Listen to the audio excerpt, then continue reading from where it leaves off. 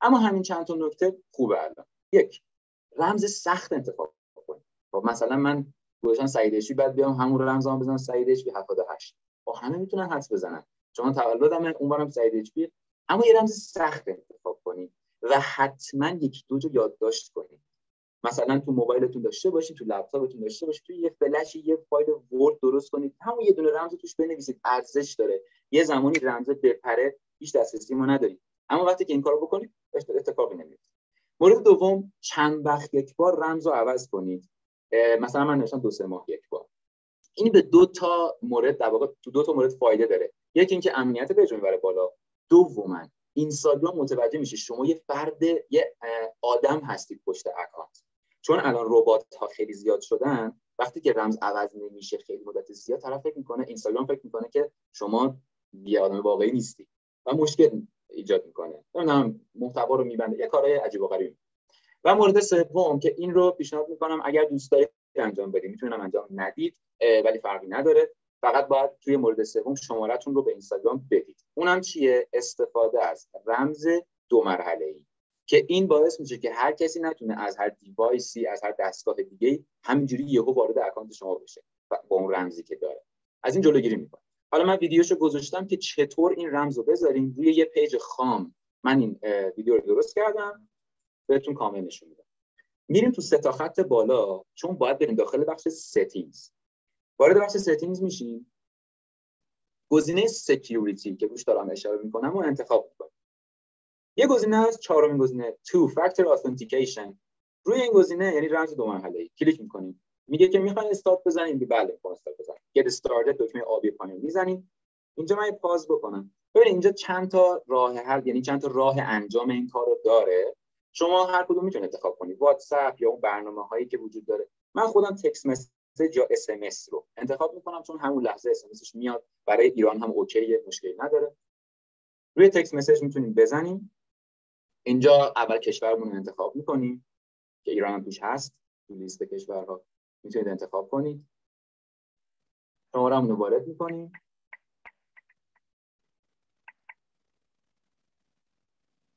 و next رو می‌زنیم اینجا شماره که وارد شد. اینجا یه کد برای ما ارسال میشه یه کد 6 رقمی همین لحظه اس ام اس حتی شده.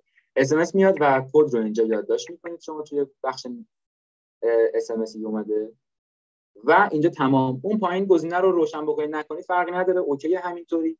گزینه next که اون پایین هست رو کلیک می‌کنید اینجا دوستان خیلی مهمه. اگر شما رمز دو مرحله ای استفاده می‌کنید حتما از این صفحه یه اسکرین شات بگیرید با یه موبایل یه نفر دیگه ازش عکس بگیرید چون این کدا مهمه. خب خودش هم نوشته اینو توضیح داده که این کدها خیلی مهمه داشته باشید. و زمانی که مثلا رمزتون یادتون رفت اینا رو لازم دارید برای اینکه وارد اکانتتون بشید. خودش هم خود اینستاگرام یه گزینه اسکرین شات گذاشته. همین اسکرین شاتی که ما می‌خوایم بگیریم اصلا نیاز دکمه چیزی بزنی یهو از برنامه بپره بیرون. یعنی حتی به اینجاش هم فکر کرده. خود این اسکرین شات رو روش کلیک بکنید خودش یه اسکرین شات می‌گیره و ذخیره می‌کنه داخل گالری شما. نکنید من روی می‌زنم. save to camera roll تمام. توی گالری ذخیره شد. اینم از بحث رمز دو مرحله ای و سپاسگزارم از اینکه به حرف ما گوش دادید. امیدوارم که خورده باشه و جلسه بعد حتما میبینمتون. و اینکه امیدوارم که خیلی قوی با هم بریم مرسی آقا مرسی. مرسی مرسی از شما.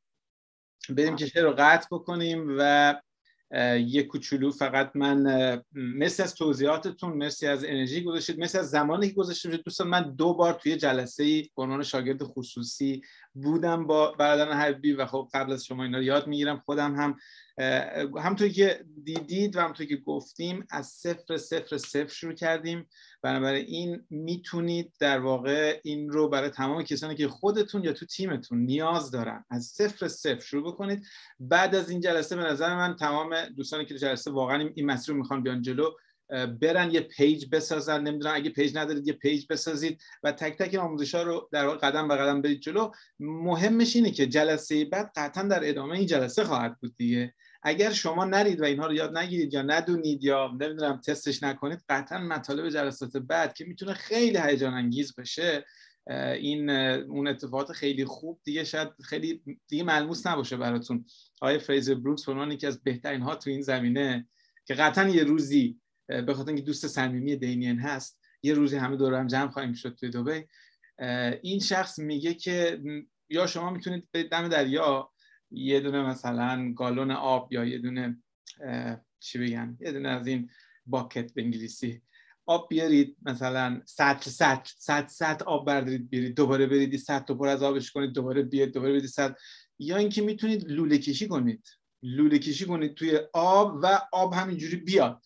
فریزر بروکس راجع به network marketing به این حالت حالت social media استفاده از social media این مثال رو می‌زنه. قطعا مطابق صحبتایی که امیر عباس هم گفت همه اون چیزایی که تو network marketing هست سر جاش قطعا قرار نیست. همونا رو ول کنیم پاشیم بریم فقط تو social media social media هم بازم امیر عباس گفت مثل کاری که دارید تو فضای غیر مجازی انجام می‌دید داستان خودش داره چارچوب خودش داره بالا پایین خودش داره. به خاطر همین این رو هم کنار اون کارتون اضافه بکنید و به نسبت اینکه باش حال